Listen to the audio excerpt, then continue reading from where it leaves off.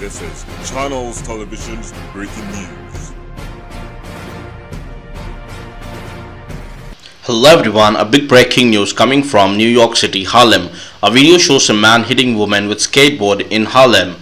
The police is looking for a man who was captured on video hitting a woman in the face with a skateboard in Harlem. The video, which has since gone viral, shows the suspect standing close to the victim and they exchanged a few words.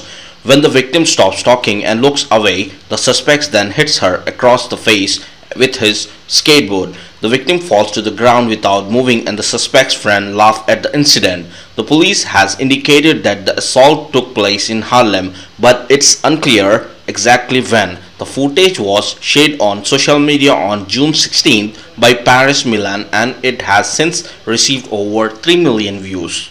The video was initially posted to the suspect's Instagram, which has now been deleted. The video starts with the woman responding to the man and addressing his friends, taking the video. She then stops talking and looks down at her phone. At that moment, the suspect hits her in the head with his skateboard. His friends exclaim and laugh, but don't step in. The suspect then walks back to his friends, who are laughing, and says, What's wrong with that B?